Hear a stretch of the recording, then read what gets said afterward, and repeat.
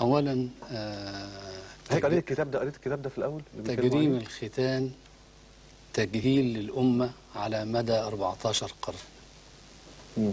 لم يوجد أحد من العلماء سلفا ولا خلفا حتى العصر الحديث يقول إن عملية إجراء الختان جريمة هذا لم يحدث مطلقا مم. فالأمة مطبقة على أن هذا إن لم يكن واجب فسنة فمباح لكن أن يجرم هذه جريمة. مم. النقطة الثانية ال- الواقع الخاطئ لا يحتج به على الدين. يعني إذا كانت هناك ممارسات خاطئة فلا يحتج بها على الدين. إحنا عندنا ممارسات خاطئة في كل فروع الطب. نعم. يعني عيادات الأسنان تنقل الأمراض. نعم. هل ألغي كلية الطب وأ- وأغلق العيادات لأن في أخطاء؟ طب دكتور مصطفى بعد إذنك باخد بس العنوان. يعني هل ختان الاناث من شعائر الإسلام ولا ليس من دعني, الإسلامية؟ دعني أتكلم الله يكرمك. أيوه آه، كل يوم يموت ناس على أبواب العمليات. مم. نتيجة خطأ في التخدير. هل نلغي العمليات الجراحية لأن هناك أخطاء في التخدير؟ فبالتالي الضجة الإعلامية المفتعلة مفتعلة. حول أن في واحدة ماتت هذا الكلام يعد من سفاسف الأمور. سفاسف الأمور. آه يعني إذا معقول واحدة ماتت لجرعة خاطئة. طب أنا مالي؟ ذنبي إيه أنا؟ نعم. فالقضية ليست قضية الختان اللي موتت وإنما في جرعة خاطئة أو طبيب بيمارس خطأ مم. وهذا يحدث في كل العمليات. طب مساله خلص الإسلامية بقى يا أخي دعني أتكلم. اتفضل يا دكتور معانا بس تليفون يقولون إن الختان عادة فرعونية أو عادة جاهلية وليكن عادة جاهلية. ليس كل العادات الجاهلية ممقوتة فالزواج عادة جاهلية لكن أبقاها الإسلام نكاح الجاهليه كان على أربعة أنحاء دعني نعم. أتكلم حتى. طب هل هل ختان الاناث اسمعني يا دكتور؟ أرجوك بس دعني طب هل دعني الناس- أتكلم عشان طيب، الأمور تكون. واضحة ليس كل عادة جاهلية ممقوتة فالزواج عادة جاهلية وفرعونية هل ألغي الزواج طبعا. عادة جاهلية لا فإذا الإسلام أبقى ما هو حق وألغى ما هو باطل. قضية الختان فيها أحاديث صحيحة لا يمكن أن نطعن فيها. زي إيه يا دكتور؟ حاضر. حاضر بس. ده هيك عايزك بقى تعمل كتاب بقى عن الختان أنا كتبت مقالة ونشرتها. آه يعني كتبت حاجة آه طبعا. هناك أحاديث ضعيفة في الختان مم. نعم. وهناك أحاديث ضعيفة في الصلاة. يبقى ألغي الصلاة؟ لا طبعا. كل أركان الإسلام فيها أحاديث ضعيفة وموضوعة ومكذوبة. طب ناخد الاحاديث القويه في الختان دكتور. يعني عندك في البخاري وفي مسلم. إذا التقى الختانان فقد وجب الغسل. مم. يقول لك الختانان دول ده تغليب. نعم تغليب. معناها واقع ولا مش واقع؟ مم. وأنا هغلب حاجة مش موجودة. طب يعني إيه تغليب وإيه يعني واقع؟ مثلا في عندنا ختانان. يقول لك ده الرجل فقط هو اللي يختن. طب وقال ختانين ليه؟ هم مش قادرين يدركوا إن في خفاض وفي ختان. مم. فأنا لما اسني كلمة خفاض وختان أغلب إيه؟ أغلب الختان. هقول ختانان. فأصحابنا رضي الله عنهم لك لا ده ما فيش ختانين. هو ختان واحد بس. طب تيجي إزاي يعني؟ يبقى الكلام غلط. لما اسني شيء واحد يبقى غلط. يبقى غلط. فإذا التقى الختانان وجب الغسل. ده بالنسبة للحديث الأولاني حديث الصحيح صحيح. ده حديث صحيح يا دكتور انت آه حديث صحيح بس لا بيأمر بختان الإناث ولا بيمنع يعني لا علاقة إقرار. له بختان الإناث. إقرار على واقع. إذا ده واقع أقره الإسلام. بمعنى إيه؟ ما هو بيقول ملوش دعوة باختيار إزاي الناس بقى؟ الناس يعني الرسول أقر هذا الواقع. مم. مم. فين الإقرار في حضرتك؟ إذا اطلق الختانات مم. إذا الت- معناه إن في ختان وإقرار من الختان وإلا نلغي الاثنين بقى نلغي الذكور والإناث. يعني لما ستنا عائشة تقول الأسودان على التمر وال إذا في تمر وفي ماء. والمية. أيوه. الموضع الموضع إذا التقى الموضعان يعني هو ال- هو ولماذا عبر بالختان؟ الموضع ولماذا عبر بالختان؟ الموضع الذي يمكن أن يكون فيه ختان. يبقى في ختان. الذي يمكن أن لا يكون فيه. الواقع فيه ختان. طيب لما نيجي بقى حضرتك لو تجاوزنا الحديث ده وشفنا جميع الأحاديث اللي بتتكلم في ختان الإناث هل يوجد نص في ختان الإناث؟ هو ده السؤال.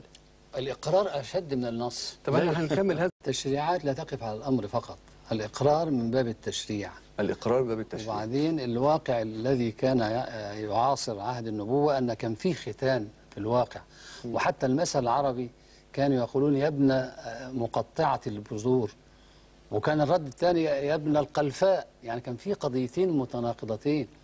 يعني الناس كانوا يتهمون المرأة التي تمارس بأنها مقطعة البذور. لكن ليس هذا معناه احتقار للمهنة. زي ما أقول مثلا فلان ده تربي هل إحنا نستغنى عن تربي لا طبعا. أو فلان زبال ما نستغنى عن بس الزبال المهنة موجودة. المهنة موجودة. مم. ف... فبعض الناس كانوا يقولوا يا ابن, يا ابن القلفاء إنها لم لم تختن. يعني المهنة دي كانت موجودة يا دكتور سالم. هو عايز يقول الواقع كانت- اللي هو عاصر. النبي عليه الصلاة ولم والسلام ينهى عنه. عندما رأى السيدة أم عطية وفي يدها الموسى التي تقطع بها قال أما زلت نص الحديث هذا. أما زلت لسه معاك ال- ال- الموسى دي لسه هتمارس العادة دي. ثم قال لها إذا أشمي ولا تنهكي أشمي دي معناها إن يعني خدي حاجة كده على رمز. لكن لم يمنعها الواقع نعم. كان ممكن يمنعها قوله أما زلت مم. فيه إشارة إلى المنع. أما زلت فيها إشارة إلى المنع؟ لكنه عليه الصلاة والسلام دايما دايما في المنع في الأمور الم... ال- ال- ال- المألوفة عند الناس. آه. ما بيمنعش مرة واحدة. آه. فقلل من شأنها.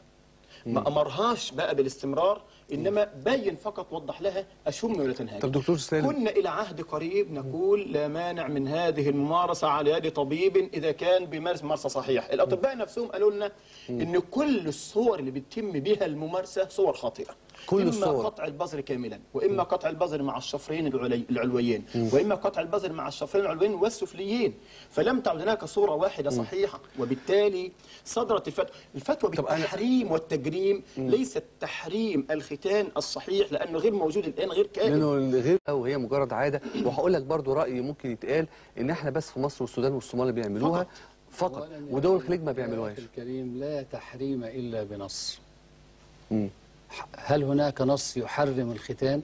هل هناك نص يحرم الختان نحن؟ نحرم انتهاك الجسد بس. اذا ليس هناك نص الانتهاك. كويس آه. هذه واحدة لا تنهكي النقطة الثانية انتهاك النقطة الثانية ختان الذكور ليس فيه نص إلا نص الإناث ليس عندنا في الختان الذكور أي أحاديث إلا أحاديث المشتركة بين الاثنين وأتحدى كيف يا دكتور؟ ليس هناك يعني لما حي- يقول اختتم- عشر من الفطرة. اختتن إبراهيم بالقدوم. كويس، ماشي. وهو ابن 80 سنة وربنا قال أن اتبع ملة إبراهيم كويس. حنيفا يعني ليس عندنا أحاديث إلا هذه الأحاديث. لا ما هي مش في النساء. ده في الذكور إبراهيم ما قالش في سارة ولا قال في قال عشر من الفطرة عشر من الفطرة. آه.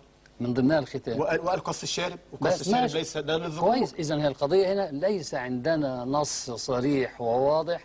في الذكور. ليه؟ ومع امال قضية إبراهيم سيدنا إبراهيم دي إيه؟ معلش اختتن إبراهيم وهو ابن اختتن، 80 خلاص سنة. مش مشكلة. وقال له اتبع إبر- ملة إبراهيم. معلش قد يكون سنة. خلاص نخلي سنة. إيه المشكلة؟ لكن هل أحد قال بذلك؟ قال بإيه؟ بأنه سنة؟ نعم. في, و- في الذكور. نعم في الذكور. نعم. إذا نحن ليس إلا الشافعية هم من اوجبوه الباقي قالوا سنة. جميع ال- ال- المذاهب أجمعت على وجوب ختان لا الذكور سامحني يا دكتور. لا سامحني. إلا ما شذ. لا يا فندم. إلا ما لا شذ. ما شذش.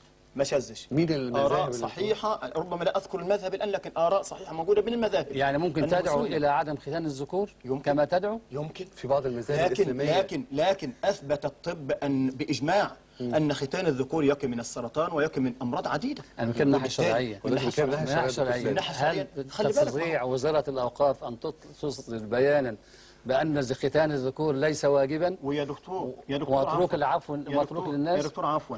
وهل وزارة الأوقاف قاعدة بس عشان تصدر قرارات للناس اعملوا ما تعملوش ولا هي بتعين الناس على تطبيق الشريعة والدين؟ ما اقحمت نفسها في هذا الموضوع. لا ما. اقحمتش ده مش اقحام هي تبين للناس الفرق بين الختان المشروع وبين الختان الذي هو عاده إذا الختان مشروع. ختان الإناث عادة. إذا في ختان مشروع. الذكور. والإناث. لا عادة. لي- ليس مشروعا. ليس مشروعا؟ نعم ليس مشروع مجرم؟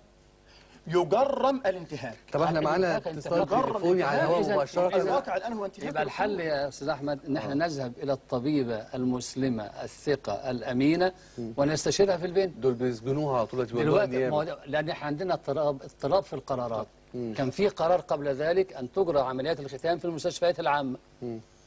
وكان ده قرار من وزير الصحة.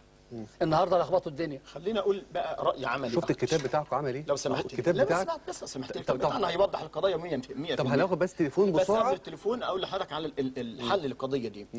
إحنا بنفرق بين القاعدة العريضة من البنات اللي مش محتاجات والاستثناء اللي بيحتاج. الأم إذا لاحظت شيئا غير طبيعي تعمل فيها إيه بنتها بقى؟ إيه؟ تعرضها على طبيب جراح أو طبيب تجميل على أنها عملية تجميلية وليست ختانا.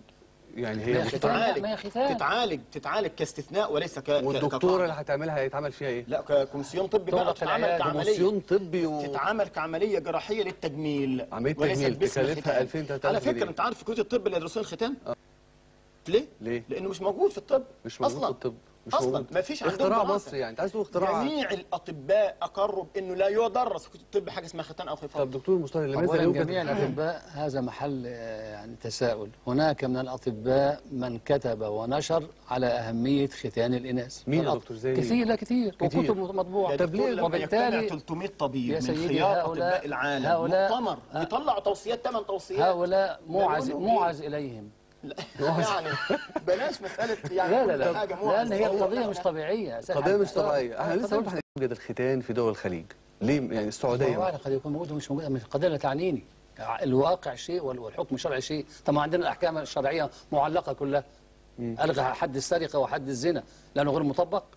قضية لا تعنيني. طب آه، يعني اسمح لي يا دكتور بعد إذنك. اتفضل. برضه عايز برضه هيك مشايخنا هناك من الناحيه الفقهية بيأكدوا جدا على السنن وعلى النوافل وعلى وعلى وعلى وعلى في في دول الخليج عايز تقول هل, السعودية هل هؤلاء العلماء بأكملهم اجتمعوا على بطلان هذا وهل هل هم هل هم؟ أصدروا فتوى بتحريم الختان؟ هو غير موجود ما هو الله أعلم. انه لا هو غير موجود اولا. إحنا هو عندنا غير موجود أحدث يعني آخر صيحة أصدرها شيخ الأزهر الشيخ جاد الحق كان عن حول الختان وفتواه معروفة ومشهورة وإن الأمة تحارب إذا أجمعت على ترك الختان. ترك الختان بالعموم. أيوه. لأن ختان الذكور سنة. لا لما يترك لا كان عن سنة. كان بيتكلم عن عن الختان عن بالعموم. عن الاناث من الختان ضمنها بالعموم. الإناث. كان بيتكلم عن ختان الاناث ولا بيتكلم عن العموم. بالعموم. الختان بالعموم.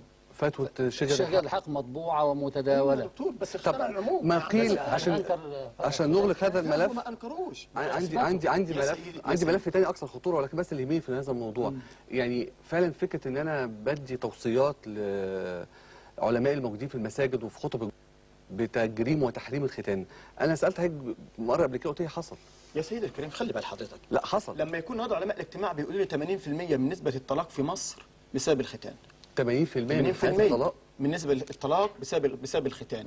بسبب ختان الإناث. نعم. دكتور مصايب كده أضحى يعني الان أضحى الآن يمثل مشكلة. لما يمثل. الختان مشكلة وهو أمر أصلا مباح. خلينا نقول مباح. بلاش أقول حرام خلينا نقول مباح. لما أصبح المباح يمثل مشكلة. أمنعها؟ أليس بالضرورة طب. أو من الواجب أن أمنعها؟ لازم تمنعها ما دام 80% من دول. حضرتك خرب بسبب الختان اللي إحنا بنتكلم عنه. يا أخي الكريم هناك دعاوى يعني قد تكون غير واقعية. مم. يقولون إن ال- الختان برود جنسي برود جنس والختان يورث العقم مع إن المرأة المسلمة المختونة أكثر الناس إنجابا. بيخالفوا بال 12 والمرأة اللي هي غير مختونة في أوروبا لا تنجب أحدا. يا دكتور فبالتالي أصبحنا أمام الإنجاب بتاعت دعاوى. أمام دعاوى مش طبيعية. الإنجاب بتاعت ربنا أنا لا هم بيقولوا كده. بيقولوا إن الختان يورث العقم. تمام. هم لو كان أرادوا هذا كانوا سابوا الختان عشان يجيبوا عقم. أنا بتكلم بدل حبوب منع الن- الحمل والحاجات دي أنا- فالكلام ده غير- يعني غير منطقي هو حتة من الطلاق. نعم. وبعدين 80% من المرأة الطلاق. المسلمة على مدى التاريخ آه، يعني كانت ودود وولود وكل حاجة وليس ولم يعرف هذا المعنى اتفق على إن الختان مشروع والواقع لا يحتج به على الشريعة ما يقدرش يقول لا، مشروع. معلش ما ما دام ينفعش. في ما واقع ينفعش. غلط لا مش ما ينفعش علشان ما ينفعش أقول لا ما ينفعش. ده, ده هيناقض الكتاب اللي أنت مش موضوع يناقض يا أستاذ أحمد ما الكتاب وقعناش في, في غلط. لا سيدي الاناث ليس هذا. من شعائر الإسلام. ليس هذا لأن النهارده بإحصاء 100% لا توجد طريقة واحدة لممارسة الختان صحيحه لا طبيب ولا غير طبيب. فلنتفق على وبالتالي لا أستطيع وبالتالي لا أستطيع أن أقول مارسوا الختان الصحيح لأنه لا يوجد ممارسة الختان الصحيح. مفيش في ذات ليه؟ لا، حتى الأطباء ما درسوهوش. طب ال 300 دكتور اللي اجتمعوا في مؤتمر ما قالوش ليه بقى ال- الممارسة السليمة وكانوا ما وضحوها ما فيش ممارسة سليمة عندهمش ما درسوهاش. ما ما درسوش حاجة اسمها ختان لأنه مش موجود. كان في قرار لوزير الصحة أن تجرى عمليات الختان داخل المستشفيات. في قرار يا. سيد الكريم في قرار لوزير الصحة سنة 56 بالتحريم. 56 أنا بتكلم آخر مش- قرار مش آخر القضية قرار الآن آخر قرار. مش القضية الآن. آخر قرار. إذا طالما في طريقة سليمة نحافظ على السليمة. فين السليمة؟ في طريقة خطأ نغ... ن- مع احترامي لحضرتك يا دكتور. لا توجد الآن طريقة سليمة في الممارسة. ليه؟ حتى ليه؟ الأطباء بيمارسوا خطأ. لأنه ما. درسوهوش. يبقى نلغي الطب بقى. ما درسوهوش. نلغي الطب. ليه؟ الطب لأن الطب كله الآن. الطب ليه تداوى عباد الله؟ معلش كله أخطاء تداوى. الطب ليه تداوى؟ يعني كم من الناس يموتون في غرف العمليات؟ كم من أيوة الناس بس ده يموتون؟ بيعمل حاجة مأمور بها تداوى وإنما هذه ليس مأمور بها. خلينا حتى أقول إنها مباح لكن فيها خطأ. في الممارسة من حق ولي الأمر أن يقيد المباح. دي مش فتوى سالم عبد الجليل يبقى حكم. رأوش بقى ما تاكلوش. ملوخية بقى. طب طب و... يبقى حكم ما رأوش بقى ما تاكلوش ما وهذا الكتاب الذي تم نشره من الختان لا يستشعر الاسلام كان في برضه كتير مجامع إسلامية عديدة مطروح اسمها في هذا الكتاب. مجمع البحوث الإسلامية. نعم. وكذلك دار الإفتاء المصرية مم. ومؤتمر علماء المسلمين طب نعود بقى الازهر هؤلاء تناقضوا مع أنفسهم مجمع البحوث تناقض مع نفسه دار الإفتاء تناقضت مع نفسها بمعنى إيه؟ يعني في فتاوى. صدرت في فتاوى. صدرت قبل ذلك بإباحة ال- الختان مم. وتراجعوا فيه وتراجعوا فيه برضك مجمع البحوث طلع فتاوى والدكتور علي جمعة نفسه كان ليه فتوى